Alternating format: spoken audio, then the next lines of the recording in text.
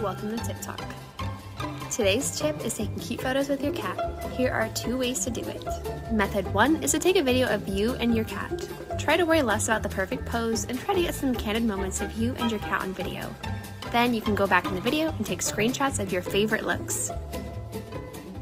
Method two is to get a Bluetooth clicker like this one.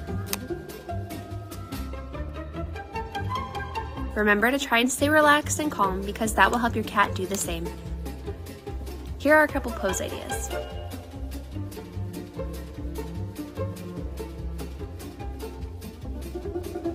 New Year's resolution let's take more selfies of ourselves with our cats. We deserve this.